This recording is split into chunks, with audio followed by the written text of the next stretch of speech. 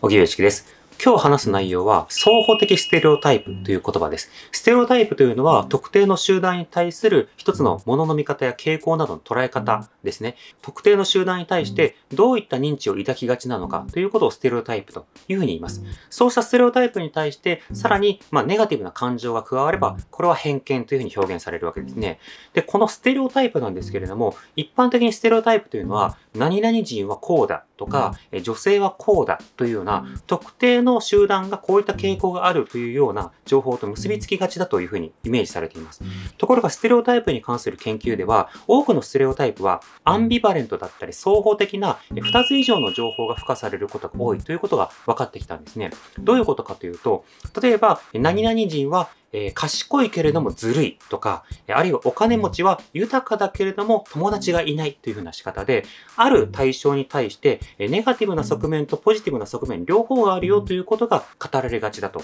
いうことになるわけです。この総合的ステレオタイプというものはなぜ発生しがちなのかというと、その総合的ステレオタイプを語る人たちの様々な心の安定をもたらしてくれるために、こうした2つ以上の情報が付加されることがあるんですね。どういうことかというと、例えば、えー、特定の対象に対してネガティブな感情がある。女性は仕事ができないというようなステレオタイプがあった時に、そうしたステレオタイプを持ってしまっている自分や社会というものは、とても差別とか人の排除というものを肯定してしまうではないかという、すごく不安定な状況、後ろめたい状況というのも与えてしまうわけですね。そうした時に、いやでも、あの、能力はないんだけれども、優しいから育児には向いているみたいな仕方で、こっちでは向いてないかもしれないけれども、こちらの方で活躍してくださいと、一見褒めるような仕方でそちらの方に誘導する。そのような誘導することによって、総合的ステレオタイプを持ってる人は、ある種その人をけなしてるのではなくて、まっとうに見てるんだ、褒めてるんだ、むしろ評価してるんだというふうに位置づけることができるわけですね。ところがこの双方的ステロタイプ、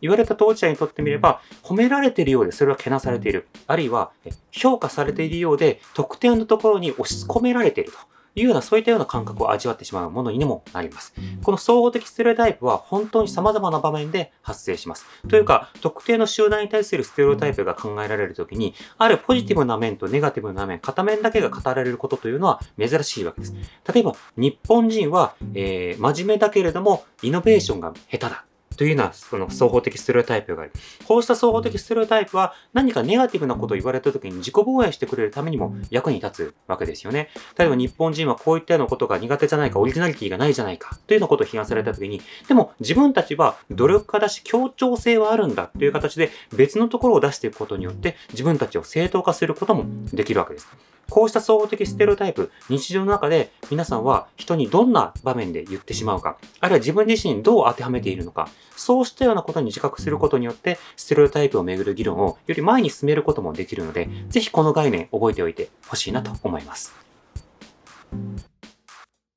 ご視聴ありがとうございました。チャンネル登録やご評価をいただけますと幸いです。また、